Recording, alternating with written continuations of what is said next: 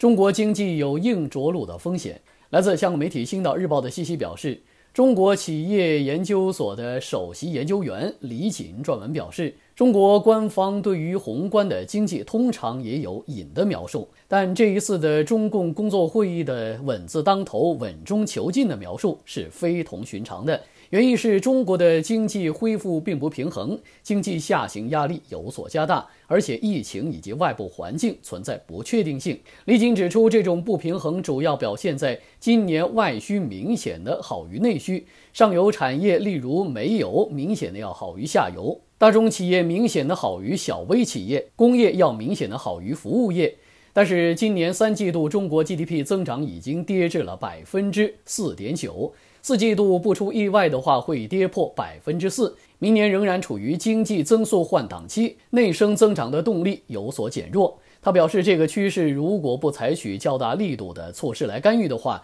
有硬着陆的风险。他指出，二零二零年面对新冠疫情，中国官方采取了积极的财政政策。二零二一年随着疫情影响的减弱，政策力度趋于谨慎。二零二二年政策的主要基调是稳中求进，预期明年增速可能在百分之五点五左右。赤字率水平保持在百分之三左右。报道指出，对于货币政策，会议重提了保持流动性合理充裕。李锦认为，美国联储局即将拧紧水龙头，逐步的开启货币正常化的进程，而中国可能会与其发生背离。具体包括了定向的降息、降准、再贷款，以及支持新基建、新能源、数码经济以及信息消费等一些领域。他预计明年上半年中国国内的经济动能可能继续的减缓，官方将采取宽松的货币政策，并且适度超前的开展基础设施投资。好，再来看一下麻省理工学院的大脑研究或成为解放军的新武器。来自法广的信息表示，《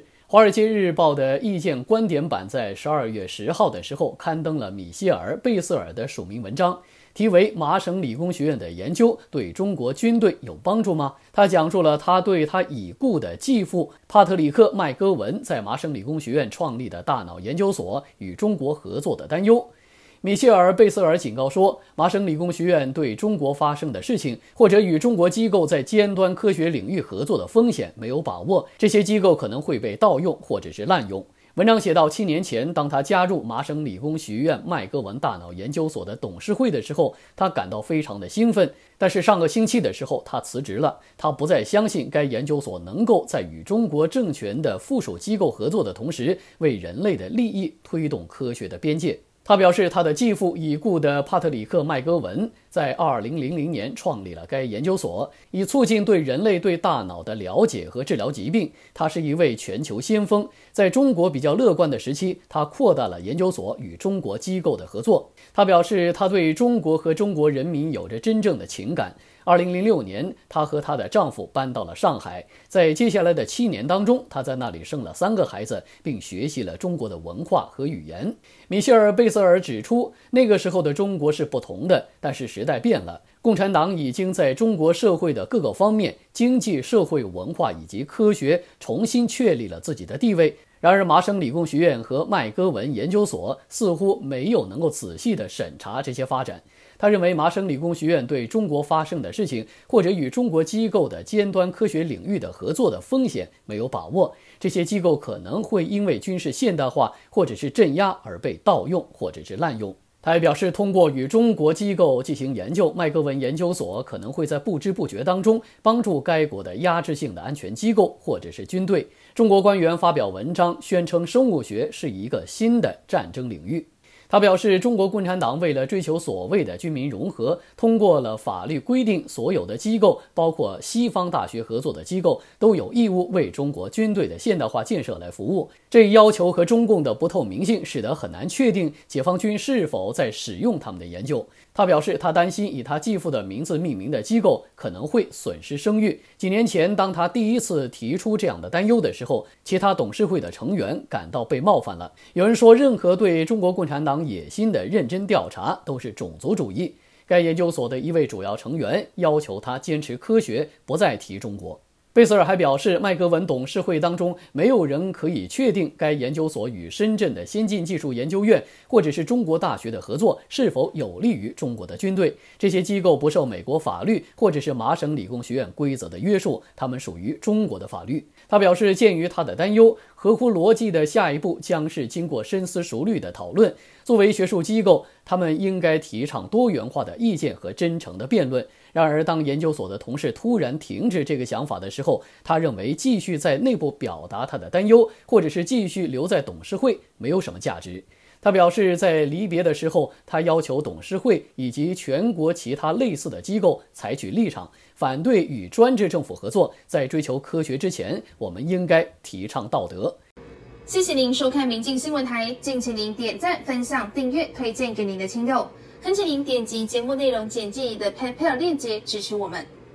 再来看一下，英国警告中共借数位人民币监视全球的金融交易。来自台湾媒体《自由时报》的信息表示，英国《金融时报》在当地时间的十二月十二号引述了该国情报机构政府通讯总部的主任弗莱明的报告，表示，中国正在明年二月份的北京冬奥会之前大力的推动数位人民币。恐沦为监视其用户和对全球货币交易施加控制力的一项利器。根据中国人民银行的信息显示，注册数位人民币的个人与企业用户已经有一亿四千万。报道表示，弗莱明在接受该报的专访时警告，一旦数位货币新技术的发展遭到了不当的施行，会给予敌国监视本国金融交易的能力，能够控制数位货币的交易进行。他表明，中国已是英国面临的最大的战略议题。北京正在扩大其在海外的间谍活动与寻求掌控数位基础设施，开始对数位世界运用其在现实世界的影响力。我们必须要去设法应对。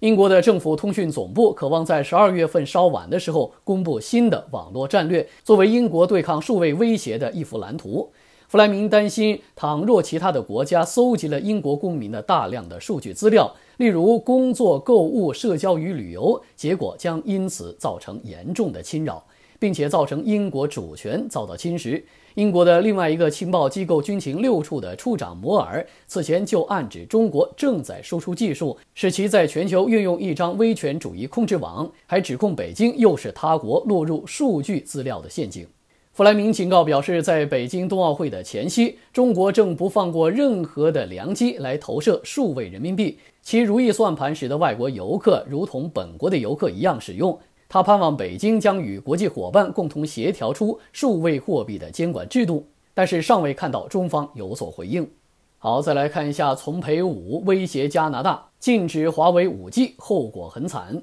来自美国之音的报道指出，中国驻加拿大的大使丛培武再一次向渥太华发出了警告：如果加拿大政府在即将宣布的 5G 网络建设的准入决定当中排除了华为，加拿大将为此付出代价。丛培武还声称，以间谍罪嫌被中国拘押了近三年，并且于九月份的时候获释的加拿大的前外交官。康明凯还有商人司帕福获释之前都已经承认了各自犯下的罪行。报道指出，丛培武在星期五，也就是十二月十号的时候，在一场仅限受邀记者参加的视频记者会上做了上述的表态。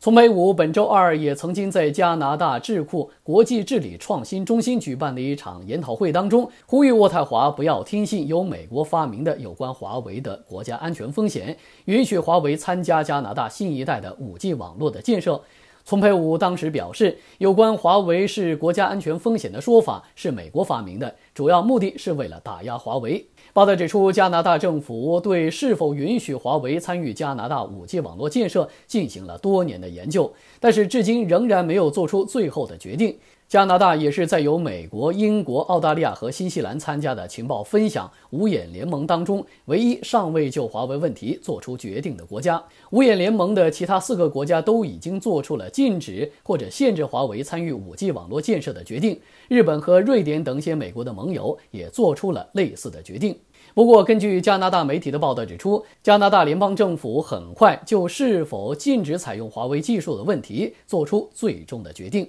丛培武在星期五举行的视频记者会上重申，如果加拿大跟随五眼联盟当中的其他盟友禁止华为参与加拿大的 5G 网络建设，中国将对加拿大持非常负面的看法。丛培武还表示，届时加拿大将为其错误的行为付出代价。报道指出，中国曾经与加拿大维持良好的政治、外交和经贸的关系，但是在加拿大的警方依据美国司法部的请求，2018年12月1号的时候，在温哥华机场逮捕了华为创始人任正非的女儿、华为的首席财务官孟晚舟之后，两国的关系急转直下。北京不仅对加拿大实施了经济制裁，还以涉嫌危害国家安全的罪名逮捕了前加拿大的外交官康明凯，还有商人斯帕福。在此期间，中国官方和外交官们全部出动，对加拿大政府和总理特鲁多进行了战狼式的攻击和谩骂，称加拿大是美国的走狗和小跟班。中国还对加拿大展开了贸易报复。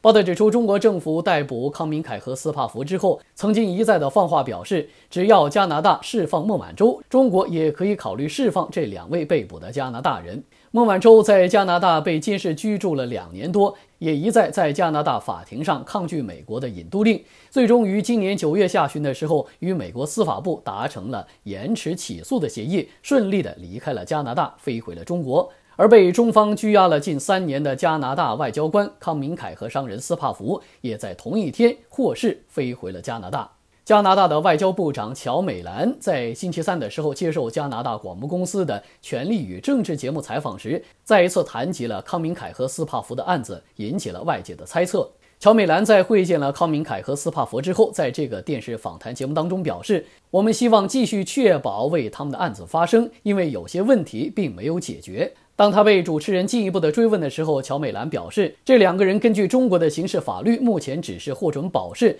所以我们希望确保我们与中国政府解决这个问题，这是一件优先的事项。中国驻加拿大的大使丛培武在星期五的记者会上被问及乔美兰就康明凯和斯帕福的案子所做的最新的发言时表示。中国政府掌握的讯息表明，两个人犯罪的证据是不容置疑的，而且他们两个人都对他们的罪行供认不讳。中国当初以间谍罪嫌在闭门审判当中给康明凯和斯帕福定罪，受到了加拿大以及十多个西方国家的广泛批评。加拿大和其他的西方盟友认为，康明凯和斯帕福的罪名完全是中国政府为了报复加拿大逮捕孟晚舟而罗列强加所致。丛培武在记者会上被加拿大的记者追问此事时表示，这两位加拿大人应该严格的遵守由相关中国法院作出的保释规定，如有违反，中国可以依法随时审理保释期间涉嫌的犯罪行为。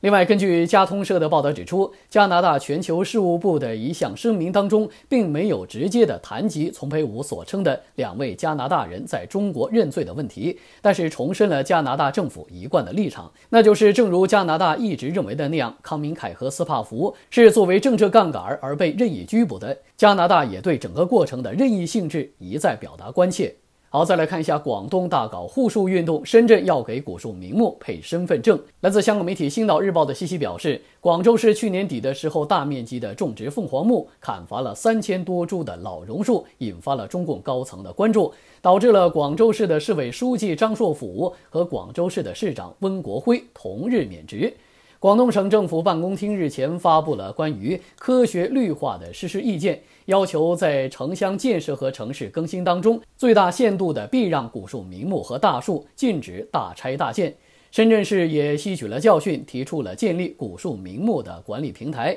让每一棵古树名木都拥有一张属于自己的身份证。根据深圳市的规划和自然资源局的统计。深圳一共有古树名木，一共是一千五百六十二棵，其中一级古树十四棵，二级古树五十六棵，三级古树一千四百八十七棵。最老的古树碧齿苏铁种植在罗湖区的仙湖植物园，树龄超过了一千年。根据深圳新闻网的报道指出，为了加强管理，深圳建立了古树名木管理平台，及时公布以及更新全市现有的古树名木的情况。包括建立完整全面的古树名木保护档案等等，让每一棵古树名木都拥有一张属于自己的身份证。在官网当中，可以清晰地查阅到每项城市更新项目涉及到的古树迁移、古树保护工作的公示。报道指出，广东省政府办发布的绿化意见被视为亡羊补牢。意见还提出了坚决反对天然大树进城、一夜成景等一些急功近利的行为，